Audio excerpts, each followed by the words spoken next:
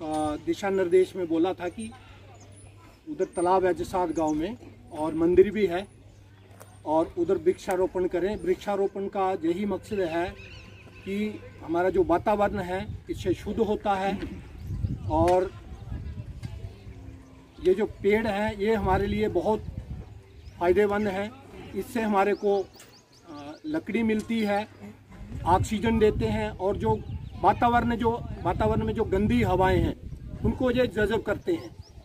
और जो फलदार पेड़ हैं, ये फल देते हैं और गर्मियों के दिनों में हमारे को ये छाया प्रदान करते हैं। और जहाँ अगर कोई ज़मीन बह रही है तो उस ज़मीन को वो ये रोकते भी हैं, बहने से रोकते भी हैं। बरसात में आने का और सबसे बढ़िया काम इन्होंने शुरू किया जो प्लांटेशन ड्राइव प्लांटेशन ड्राइव जो इस वक्त जो नीड ऑफ़ आवर है ना, जैसे हमारा ग्लोबल वार्मिंग बढ़ रही है तो मैं कहता हूँ सबसे ज़्यादा ज़रूरत इस चीज़ की अभी जितने भी हम प्लांट लगा सकें, हमें ज़्यादा से ज़्यादा लगाने चाहिए। और प्लांट लगा के छोड़ देना, उससे हमारा जो मिशन है, वो एम है, हमारा फुलफिल नहीं होता है, उसको हमने आगे प्रोटेक्ट करना जैसे सरपंच साहब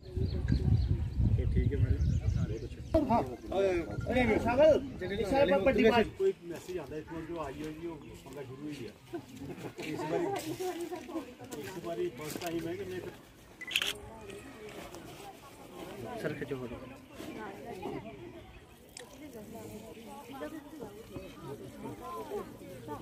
चलो। ये सब इकट्ठे रहो वो भी चीड़ है उसी अगे लोने रौदे सब लगांदे सी बूटे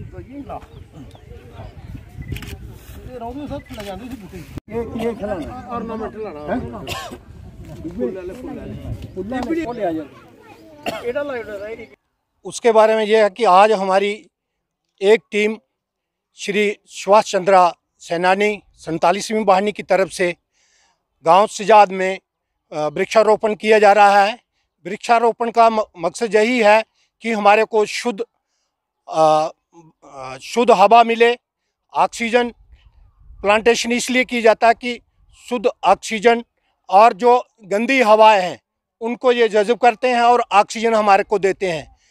पेड़ पौ, पेड़ से हमारे को फल मिलते हैं और पक्षियों को उनसे छाया मिलती है, उनको घर बनाने के लिए आश्रय मिलता है और गर्मियों के दिनों में जो चिड़चिड़ाती गर्मी है, उससे हमारे को छाया मिलता है।